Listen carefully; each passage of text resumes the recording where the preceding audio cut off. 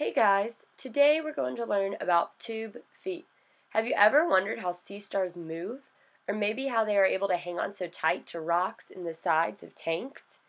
Within the phylum Echinoderms, creatures like sea stars, sea urchins, and sea cucumbers use tube feet for locomotion, holding on to hard substrates and even in opening shells of prey. Here, on the inside of the sea star, you can see the internal anatomy. Echinoderms operate on a water vascular system, meaning water controls their movements. Water is pumped through this hole at the top, called the madreporite, then goes through the stone canal surrounding the stomach.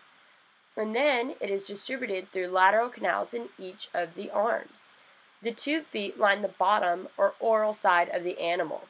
This is where the lateral canal in blue connects to the tube feet on the outside. Look closely at the bottom of this bat star and you can see all the tiny tube feet pushed against the tank. It uses them to hang on and move around. Here, it attaches to an instructor's hand. Seeing these tube feet up close and personal, now you know how they work.